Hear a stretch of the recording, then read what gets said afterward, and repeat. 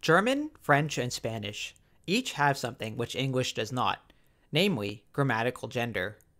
English does have gendered pronouns, like he and she, as well as some nouns which still have a gender, such as the fact that boats are often referred to as she. But in German, spoons are masculine and forks are feminine. So if you were referring to a fork, you wouldn't say it, but rather she. As bizarre as this seems for English speakers, it is actually the norm in most languages, and is proof of something which analytical psychologists call the syzygy. The syzygy refers to the fact that humans are psychologically predisposed to think in terms of masculine and feminine, and this forms one of the major dualities of the human mind, just as the shadow archetype causes us to think in terms of good and evil. In biological terms, since the other gender is our means of passing on our genes, the psyche is genetically equipped to make the distinction between man and woman, and to treat the opposite gender in a special light, granting them a special importance, just as the psyche is equipped for the encounter with the mother, father, and antagonist. The syzygy causes us to see the other gender in a different way, almost as though there were something magical about them. As Jung writes, an inherited collective image of woman exists in a man's unconscious, with the help of which he apprehends the nature of woman. In men, this archetypal idea of the feminine is called the anima, and in women, the archetypal idea of the masculine is called the animus, and both tend to have a powerful influence over the psyche. As we will see, the archetypal ideas of the masculine and the feminine become the repository of contrasexual traits. The masculine and feminine principles, writes Anthony Stevens, are fundamental archetypes which have dominated the life of our species since its emergence, as indeed they have dominated the lives of our forebears long before our species evolved. Every archetype is essentially a pre equipped psychic system which prepares the individual for some encounter which is likely to occur. The syzygy prepares a person for the encounter with the opposite gender, since a strong attraction to the opposite gender enables a species survival. This is why people's behavior is notably different when interacting with the opposite sex, since our minds are predisposed to make the distinction between our own gender and the other, and to treat the other gender in a specific way. In some sense, the psyche has a ready made system for this encounter. As Jung writes, every man carries within him the eternal image of woman, not the image of this or that woman, but a definite feminine image. This image is fundamentally unconscious, an hereditary factor of primordial origin, engraved in the living organic system of the man, an imprint or archetype of all the ancestral experiences of the female, a deposit, as it were, of all the impressions ever made by woman. He also writes The whole nature of man presupposes woman, both physically and spiritually. His system is tuned into woman from the start, just as it is prepared for a quite definite world where there is water, light, air, salt, carbohydrates, etc. The form of the world into which he is born is already inborn in him as a virtual image. In the average man's mind, a woman is something fundamentally other to him, and his psychology pushes him to treat women as such, and the same is true of men in women's eyes. In fact, these ideas are so inborn to the psyche that they can often appear in our dreams as seemingly autonomous beings. The syzygy allows us to select a mate when the anima or animus becomes projected onto a specific person, causing our minds to see them in an almost magical and numinous light, as though they were the most amazing person alive.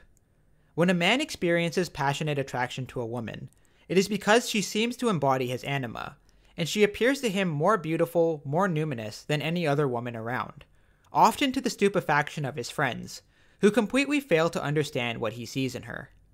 This serves the biological function of choosing the ideal romantic partner, but since the anima or animus exert a powerful influence over our minds, it may cause us to see our crush as being more perfect than they really are.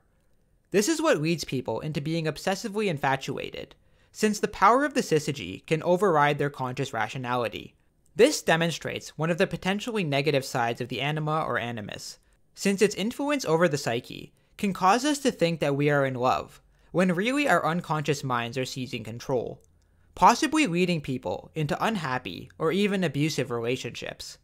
However, if you read Jung's work, you may get the impression that the anima and animus are not merely instruments of sexual reproduction, but refers to unconscious masculinity and femininity. In order to understand this point, as well as the connection between the unconscious and sexuality, we will need to discuss human biological gender. Sex in humans is determined by our sex chromosomes. I say in humans because other animals, like turtles for example, have temperature based sex determination, where the temperature of their eggs after being laid determines gender. For a person to be born female, they require one X chromosome from each parent, while males have an X chromosome from the mother and a Y chromosome from the father.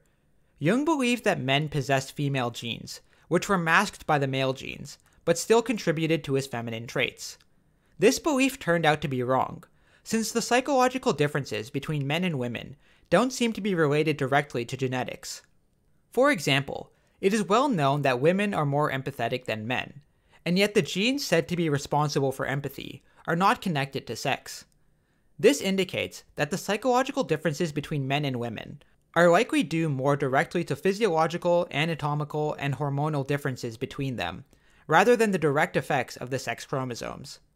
There are numerous well established psychological differences between men and women. In general, men are more aggressive, assertive, independent, and logical, while women are generally more emotional, empathetic, collaborative, and caring. It is worth noting that these differences are general trends, and not absolute differences, which is why exceptions exist. Jung believed that the chief differences between men and women can be broadly summarized as eros and logos. Eros refers to our emotional capacity, but also more specifically to our desire to form close, meaningful connections with others. Logos refers to our logical and rational way of thinking, which attempts to extricate itself of emotional influences and discriminate different elements of the world rather than drawing them together. Logos, unlike Eros, separates rather than connects. Femininity is more strongly characterized by the connective desire of Eros, while masculinity is associated with the distinguishing ability of Logos. Again, this difference is not absolute. As Jung writes, I use Eros and Logos merely as conceptual aids to describe the fact that woman's consciousness is characterized more by the connective quality of Eros than by the discrimination and cognition associated with Logos. In men, Eros, the function of relationship, is usually less developed than Logos. In women, on the other hand, Eros is an expression of their true nature. Both genders have the capacity for Eros and Logos, but Jung observed that one or the other tends to predominate, this means that the traits which are associated with the other gender tend to be repressed into the unconscious, where they still exert an influence over our conscious minds. The ego also plays a role in the repression of contrasexual traits into the unconscious. By contrasexual, we simply mean traits which are more associated with the opposite gender, although in actuality, there is nothing inherently gendered about psychological traits. The feminine side of a man and the masculine side of a woman become repressed due to the fact that the ego often puts its own gender as a central feature of the personality. Since the ego more often identifies with one gender, traits associated with the opposite gender are often masked and hidden in the unconscious, where they nevertheless influence the psyche. Again, these traits are only regarded as feminine or masculine by means of association, and are not inherently so. And so to say that the anima has feminine traits is just a useful way to speak about it, and not reflective of its inherent nature. Some people may have an ego which better identifies with the opposite gender, and so these traits, rather than being repressed, come to the forefront, which is why some men are more outwardly feminine, and some women are more outwardly masculine. However, it is more common that the egos of both men and women are identified with their biological genders, and everything in them which is associated with the opposite gender is projected outwards. No man is so entirely masculine that he has nothing feminine in him. The fact is, rather, that very masculine men have, carefully guarded and hidden, a very soft emotional life, often incorrectly described as feminine. A man counts it a virtue to repress his feminine traits as much as possible, just as a woman, at least until recently, considered it unbecoming to be mannish. The repression of feminine traits and inclinations naturally causes these contrasexual demands to accumulate in the unconscious. No less naturally, the imago of woman, the soul image, becomes a receptacle for these demands, which is why a man, in his love choice, is strongly tempted to win the woman who best corresponds to his own unconscious femininity. A woman, in short, who can unhesitatingly receive the projection of his soul. In other words, we often seek a romantic partner who embodies our unconscious contrasexual traits and project these traits onto our partners, when really they belong to ourselves. We thus often choose a partner who best represents our unconscious femininity or masculinity, although oftentimes we just assume that our prospective partners possess these traits without actually knowing. In general, this is how we decide whether a person is a good match for us, and our unconscious archetype is responsible for the feeling of connection we experience when we have chemistry with our partners. It is therefore likely an evolutionary tool for selecting a person with whom we are compatible. A woman is attracted to a man who possesses the masculine qualities of her animus. A man is drawn to a woman who seems to carry the feminine qualities of his anima. The power of the archetypes explains how people can become infatuated to the point of neurotic fixation, as though they were being taken over by some mysterious force. Many psychological problems are caused by the inability to disengage one's anima or animus from the person onto whom it is being projected, especially when the other person is uninterested, or even worse, if they are toxic.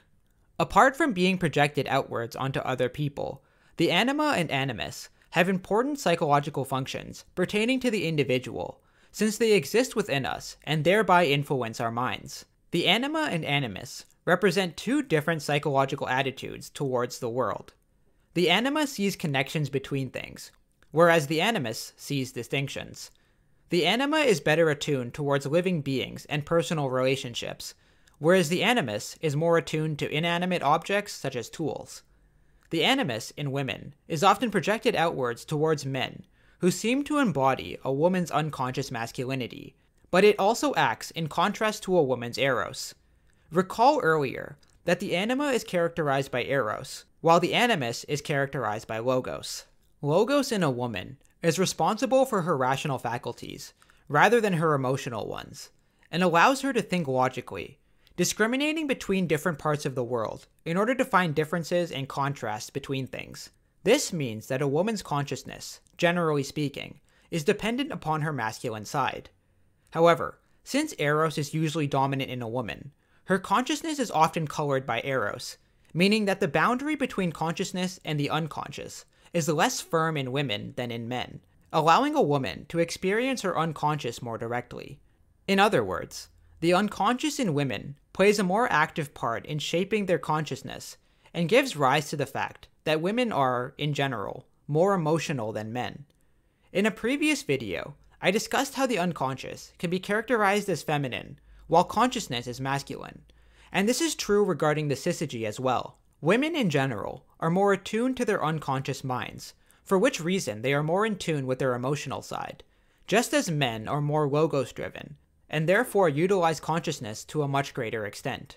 The animus is needed for a woman's consciousness, and the development of her ego also depends upon this masculine element.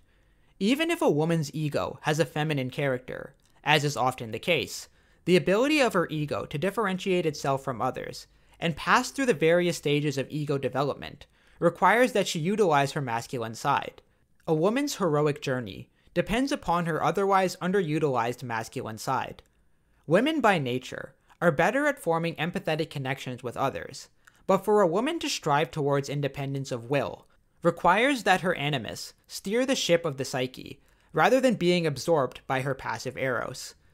This is why women in general are more passive than men, because the conscious function of the animus, which is much more active, is frequently repressed into the unconscious, where it becomes projected onto men. This leads to the common situation where the man receiving the projection dictates a woman's fate, and in a sense becomes her logos. Psychological transformation for a woman often involves withdrawing the animus from projection and letting it embody her psyche, giving her a sense of free will and the capacity for self determination. Ambitious women who seek challenging goals must experience their animus in order to do so. Otherwise, they will be passively carried along by their instinctual emotions, rather than rising above them. Since Logos divides rather than connects, her Logos allows her to grant more agency to herself so that she can find her own way, apart from the wills imposed upon her by others. While this can be useful for a woman when overcoming adversity, it may also lead to a state of animus possession, as Anthony Stevens writes.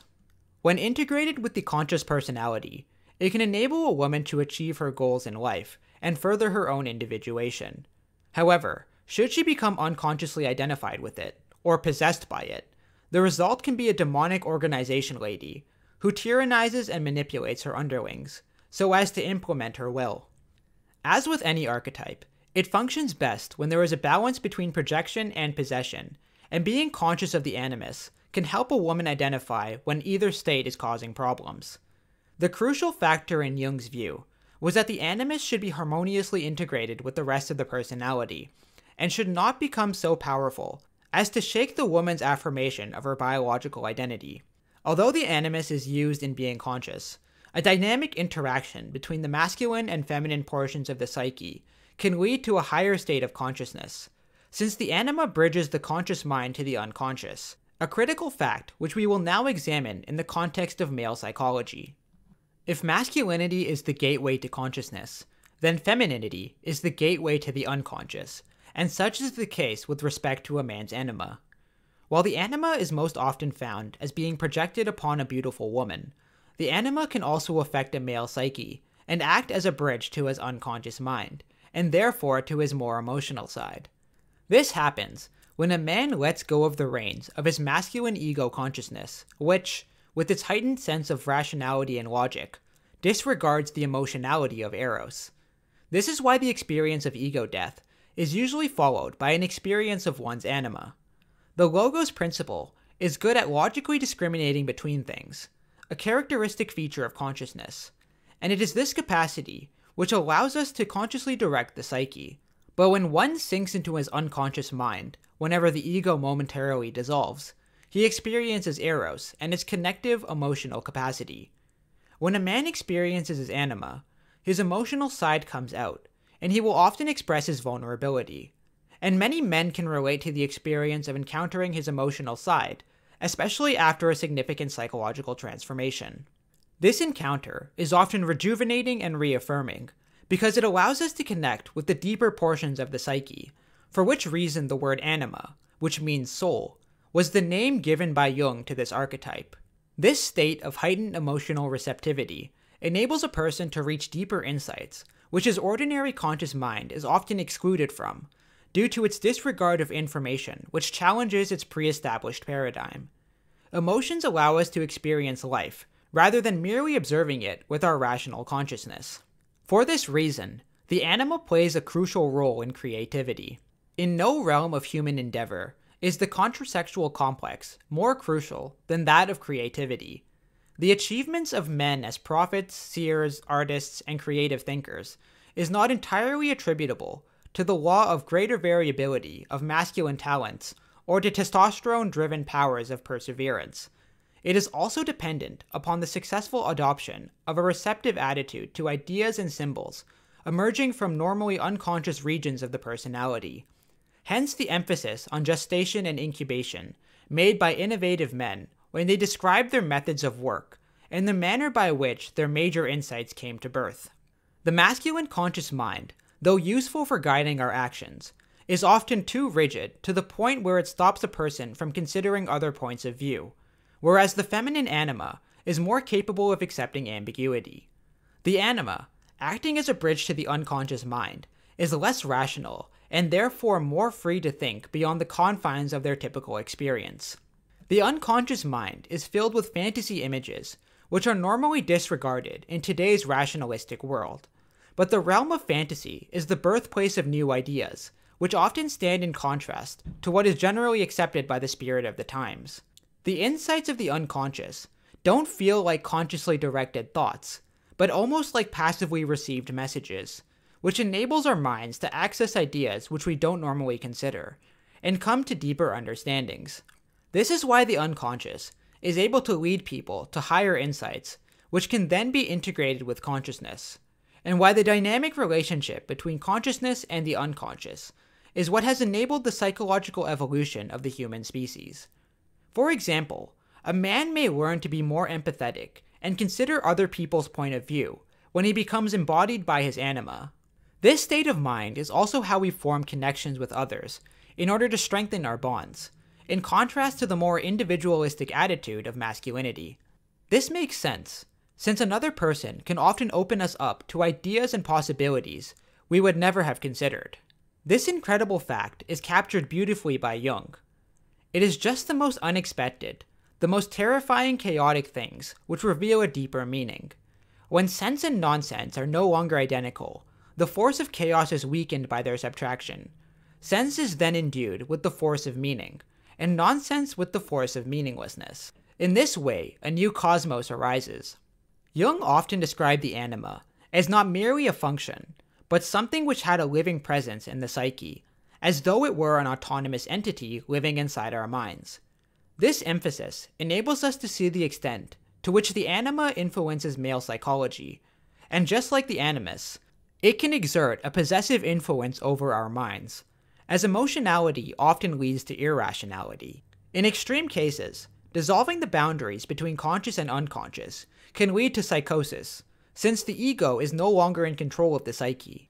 As stated before, we shouldn't reject the masculine or feminine within us, but rather find balance between these two poles, since both have important functions, and both can be destructive if taken too far. As with all archetypes, their influence over the mind gives rise to mythological conceptions. We encounter the anima, historically above all, in the divine syzygies, the male female pairs of deities. These reach down, on the other side, into the obscurities of primitive mythology, and up onto the other, into the philosophical speculations of Gnosticism and of classical Chinese philosophy, where the cosmogonic pair of concepts are designated as yang, masculine, and yin, feminine. It is important to note that these archetypes are ever present factors in the psyche and can't simply be removed. Their influence is constant and unconditional. With respect to projections, the influence of the anima and animus is incredibly strong, so much so that people who cheat on their partners could, in all honesty, be said to have been lured by their archetypal natures. Hence, effectively utilizing these archetypes also entails knowing when their suggestive influence is at play, so that we may be able to extricate ourselves of their strength and avoid ruining our relationships. Each archetype has a negative and positive aspect, whether they are projected outwards or inwards, and optimal psychological health demands that a person recognize the dual nature of these primordial influences. Archetypes are also not totally clear cut and distinguishable from each other. For instance, a boy's anima is often projected onto his mother in early life, and the same is true of young girls and their fathers. Later, a need arises to extricate the anima and animus from their respective parental projections so that they can be utilized for finding a romantic partner. The shadow and syzygy also tend to get mixed together, since they result from repression, and so the anima is often encountered as the positive side of the shadow, usually being discovered after encountering the darkness of the shadow. However, though they can be given a degree of energy, such to be felt directly, such as when a man becomes emotional or a woman becomes heroic, the syzygy nevertheless constantly influences us from the unconscious. When utilized properly, the male and female aspects of the psyche play different roles which can enrich our lives. The male side allows us to strive for self determination and agency, as we pursue the freedom to be the masters of our own fate.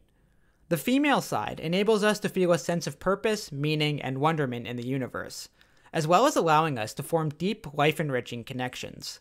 Balance between these two aspects is the key which can enable personal development and optimal psychological health to the benefit of both the individual and society at large.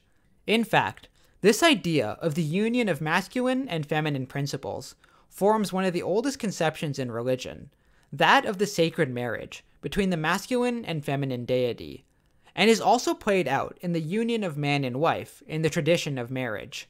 Just as a man and woman unite in marriage, so too must each individual unite masculine and feminine within themselves.